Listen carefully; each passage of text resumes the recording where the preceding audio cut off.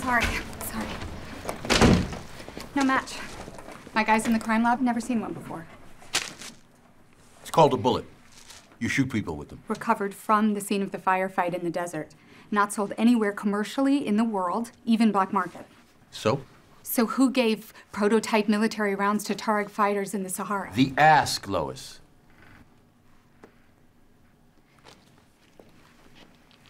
Flight to DC tonight, couple of days there. Go. Coach, no extra legroom. Economy plus. Coach!